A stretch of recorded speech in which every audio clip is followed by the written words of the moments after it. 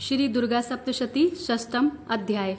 मैं सर्वज्ञेश्वर भैरव के अंक में निवास करने वाली परमोत्कृष्ट पद्मावती देवी का चिंतन करता हूँ। वे नागराज के आसन पर बैठी हैं। नागों के फड़ों में सुशोभित होने वाली मड़ियों की विशाल माला से उनकी देहलता उद्भासित हो रही है। सूर्य के समान उनका तेज है। तीन नेत्र उनकी शोभा बढ़ा रहे हैं। वे हाथों में माला, कुंभ, कपाल और कमल लिए हुए हैं। इस प्रकार देवी का ध्यान करके छठे अध्याय का पाठ आरंभ करते हैं।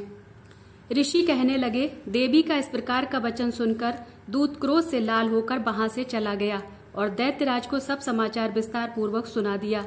दूत के वचन सुनकर दैत्यराज क्रोध से आग बबूला, हो उठा और दैत्य सेनापति धूम्रलोचन से बोला, हे धूम्रलोचन, तुम तुरंत अपनी सेना साथ लेकर जाओ और उस दुष्टा के केश पकड़, पकड़कर घसीटते हुए बलपूर्वक यहाँ ले आओ।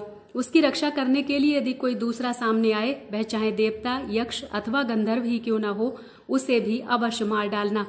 ऋषि बोले, शुंभ की आज्ञा पाकर धूम्रलोचन दैत्य साठ हज़ार असुरों की सेना लेकर चल पड़ा। वहाँ पहुंचकर उसने देवी को देखा और ललकार कर कहा, अरे, तू शुंभ निशुंभ के पास चल। यदि इस समय मेरे स्वामी के समीप नहीं चलेगी तो मैं बलपूर्वक पकड़कर घसीटते हुए तुझे ले चलूँगा।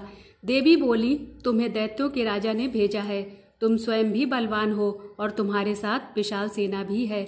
ऐसी दशा में यदि मुझे बलपूर्वक ले चलोगे तो मैं तुम्हारा क्या कर सकती हूँ? ऋषि कहते हैं, देवी के यूँ कहने पर असुर धूम्र लोचन उनकी ओर दौड़ा। तब अंबिका ने हुंकार के शब्द से उसे भस्म कर दिया। फिर तो क्रोध में भरी हुई दैत्यों की विशाल सेना और अंबिका ने एक दूसरे पर तीखे बाणों, शक्तियों तथा फरसों की वर्षा आरंभ कर दी। इतने में ही देवी का वाहन सिंह क्रोध में भरकर भयंकर गर्जना करके गर्दन के बालों को फटकारता हुआ असुरों की सेना पर कूद पड़ा। उसने कुछ दैत्यों को पंजों की मार से, कितनों को अपने जबड़ों से और कितने ही महादैत्यों को पटक कर ओठ की दाढ़ों से फाड़ करके मार डाला। उस सिंह ने अपने नखों से कितनों के पेट फाड़ दिए और थप्पड़ मारकर कितनों के सिर धड़ से अलग कर दिए।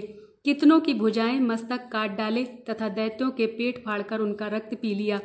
क्रोध में भरे हुए देवी के वाहन ने क्षण भर में ही असुरों की सारी सेना का संहार कर डाला। शुंभ ने जब सुना कि देवी ने धूम्रलोचन को मार डाला तथा उसके सिंह ने सारी सेना का सफाया कर डाला, तब उस दैत्यराज को बड़ा क्रोध आया। उसके ओठ कांपने लगे।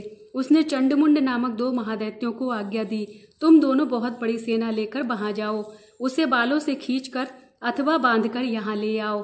यदि इस प्रकार उसको लाने में तुम्हें संदेह हो तो युद्ध में सब प्रकार के अस्त्र शस्त्रों से सारे असुर मिलकर उसको मार डालना। उस दुष्टता तथा सिंह के भी मारे जाने पर उस अंबिका को बांधकर साथ लेकर शीघ्र ही लौट आना।